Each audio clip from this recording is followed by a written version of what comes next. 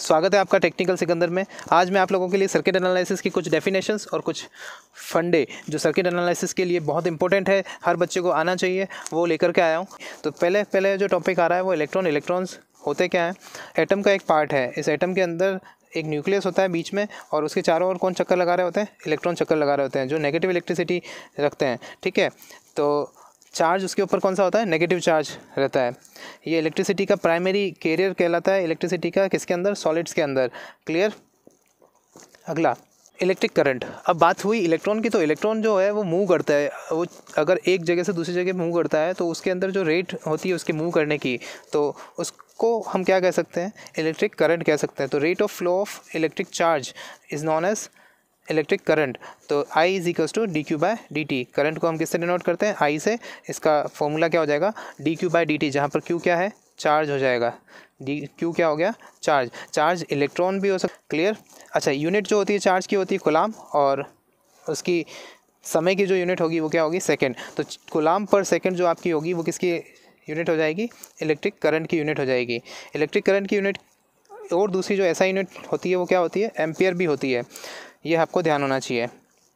Clear अगला topic potential potential जो है हमारा, वो जैसे बात करें कि एक चार्ज है, उसके चारों ओर क्या है? इलेक्ट्रिक फ़ील्ड बन जाता है। चार्ज के चारों ओर क्या बनता है? इलेक्ट्रिक फ़ील्ड अब उस इलेक्ट्रिक फ़ील्ड में अगर मैं किसी दूसरे इलेक्ट्रॉन को या दूसरे चार्ज को लेकर के आता हूँ, किसी दूसरे चार्ज की एंट्री उसमें कराता हूँ तो उस चार्ज को वहाँ पर लेकर जाने में या उससे दूर लेकर के जाता हूँ तो उसको दूर लेकर के जाने में जो हमने काम करना पड़ेगा तो work done per unit charge जो होगा, वो क्या कहलाएगा? पोटेंशियल कहलाएगा। क्लियर है? तो पोटेंशियल की जो यूनिट होगी, वो क्या होगी? जूल पर गुलाम क्योंकि जूल थी हमारी यूनिट किसकी? वर्क डन की, और गुलाम किसकी यूनिट हो जाएगी? चार्ज की। तो joule per coulomb is known as potential और इसको आप दूसरे से भी डिनोट कर सकते हो इसकी यूनिट दूसरी यूनिट क्या है? वोल्ट इसकी दूसरी यूनिट रहती है, जो ऐसा यूनिट कहलाएगी।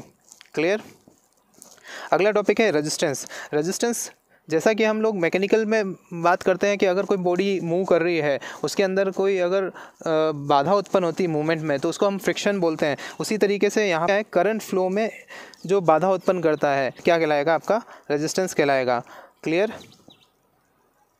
अच्छा रेजिस्टेंस मटेरियल के अकॉर्डिंग देखें तो अगर अलग अलग मटेरियल की स्पेसिफिक रजिस्टिविटी होती है, जिसको हम रो से डिनोट करते हैं स्पेसिफिक रजिस्टिविटी को, अगर एक मेटल एलिमेंट है, उस मेटल एलिमेंट की एक रोड है, जिसमें उसकी लेंथ एल कह लेते हैं और उसका क्रॉस सेक्शनल एरिया जो है, वो क्या है? ए है।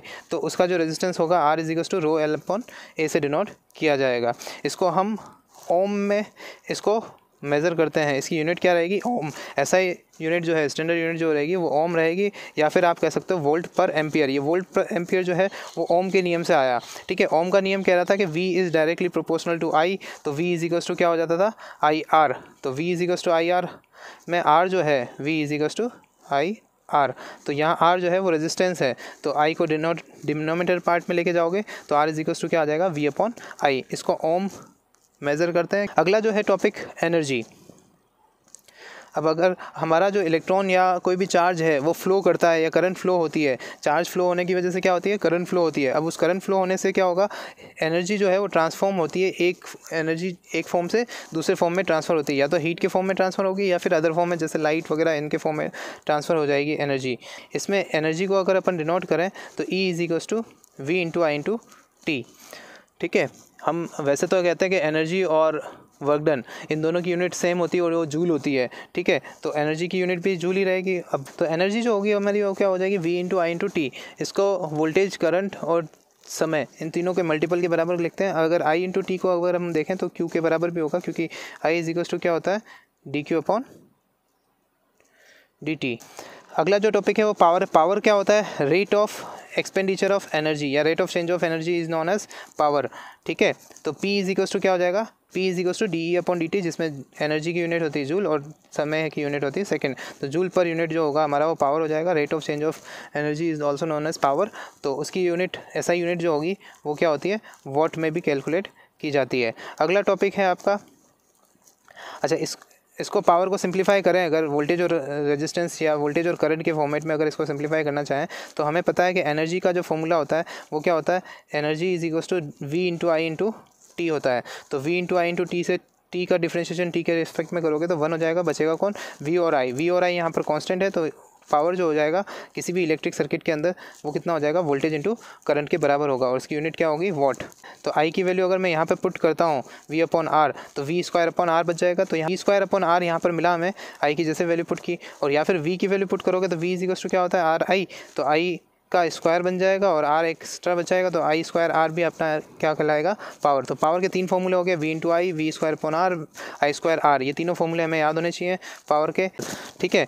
अच्छा एक हॉर्स पावर जो होता है, वो किसके बराबर होता है? सेवन फोर्टी सिक्स वॉट के बराबर होता है। ये थोड़ा सा इंपॉर्टेंट पॉइंट था, मैंने इसमें यहाँ पर मैंशन कर दिया। पावर रेटिंग जो है, वो इंपॉर्टेंट होती है किसी भी सर्किट को बनाने में या रजिस्टेंस या रजिस्टर को जब हम चूज़ करते हैं तो उसकी पावर रेटिंग हमें देखनी पड़ती है कि कितने टेम्परेचर पे वो काम कर रहा है, वो रेजिस्टेंस उसमें कितना पावर लॉसेस होगा, वो सब चीज़ें हमें ध्यान रखनी चाहिए, ठीक है? तो अगर हमारा पावर डिस्ट्रीब्यूशन बढ़ेगा तो टेम्परेचर क्या होगा? बढ़ेगा। पावर डिस्ट्रीब्यूशन बढ़ता है तो टेम्परेचर भी क्या होता है? बढ़ता है, किसी भी रेजिस्टेंस का। तो रेजिस्टेंस क्या हो सकते हैं? बर्न हो सकते हैं। इस वजह से हमें, अगर हाई पावर वाली जो डिवाइसेस हैं, उनको चलाने के लिए रेजिस्टेंस की जो क्वालिटी होनी चाहिए, उसके अंदर जो रेटिंग होनी चाहिए रेजिस्टेंस की, वो भी हाई पावर वाले रजिस्टर ही अपने को चूज़ करने होते हैं। क्लियर हुआ? इसलिए पावर का इंपॉर्टेंस ज़्यादा रहता है। तो सबसे पहले जो है इलेक्ट्रिक चार्ज चार्ज की यूनिट होती है गुलाम गुलाम को सी से डिनोट किया जाता है और गुलाम को सी से डिनोट किया जाता है और चार्ज को जब भी हम मेंशन करते हैं तो क्यू से मेंशन किया जाता है, ठीक है? और इलेक्ट्रिक करंट जो होती है, उसकी यूनिट होती है एम्पियर एम्पियर को एएमपी या ए से भी इंडिकेट करते हैं और इसको जनरली जो डिफाइन करते हैं, जब भी हम इसको यूज़ में लेते हैं फॉर्मूले में तो आई कैपिटल आई और स्मॉल आई से डिनोट करते हैं। स्मॉल आई जो है वो एसी के लिए और कैपिटल आई जो होता है, वो डीसी के लिए होता है। वोल्टेज वोल्टेज को यूनिट जो होती है वोल्ट वोल्ट को हम वी ओ एल टी से भी इंडिकेट कर सकते हो या वी से भी इंडिकेट कर सकते हो बहुत सी बार। और डी सी के लिए अगर आप फॉर्मूले में इसको इस्तेमाल करोगे तो इसको डिफाइन करते हो वी कैपिटल वी और ए सी के लिए इस्तेमाल करते हो तो स्मॉल वी से इंडिकेट करते हैं इसको। क्लियर रेजिस्टेंस रेजिस्टेंस की यूनिट होती है ओम ओम को रिप्रेजेंट करने के लिए ऐसा सिम्बॉल बनाना होता है और इसका रेजिस्टेंस को जो इंडिकेट करते हैं कैपिटल आर या स्मॉल आर स्मॉल आर जब भी हम इस्तेमाल करेंगे तो वो क्या है? डायनेमिक रेजिस्टेंस है और ये static resistance static resistance generally D C resistance कह सकते हो और डायनेमिक डायनेमिक रेजिस्टेंस आपका जो चेंज हो रहा है रेजिस्टेंस क्लियर अच्छा रेजिस्टिविटी रो से इंडिकेट की जाती है और रो इजिकल्स टू क्या हो जाएगा? R into A upon L तो एरिया की यूनिट होती है मीटर स्क्वायर एल की यूनिट होती है मीटर तो एम से एम कैंसिल हो जाएगा और आर की यूनिट होती है ओम तो ओम इंटू मीटर तो ओम इंटू मीटर किसकी यूनिट हो जाएगी? रजिस्टिविटी की यूनिट हो जाएगी आपकी, इसको इंडिकेट किससे कर रहे हैं? रो से. क्लियर है? अगला है कंडक्टिविटी कंडक्टिविटी रजिस्टिविटी का जस्ट अपोजिट है तो ओम का अपोजिट होता है मो मो पर मीटर हो जाएगा वो. ओम इंटू मीटर था तो ये मो पर मीटर कहलाएगा. ठीक है? एस अपॉन एम से भी इंडिकेट कर सकते हैं इसको, और इसको सिग्मा से रिप्रेजेंट किया जाता है. ठीक है? एनर्जी एनर्जी की यूनिट हम सबको पता ही है जूल होती है जूल को जैसे इंडिकेट करते हैं एनर्जी को अपन रिप्रेजेंट करते हैं ई e से. किसी भी फॉर्मूला में रिप्रेजेंट करना होता है तो हमें कैपिटल ई e से एनर्जी को अपन रिप्रेजेंट किया जाता है। पावर जो होता है पावर की यूनिट क्या होती है? वॉट वॉट को हम डब्ल्यू से इंडिकेट किया जा सकता है और रिप्रेजेंट किया जा सकता है पावर को किसी भी फॉर्मूला में पी से। Thank you visit technical Sikandar again for more updates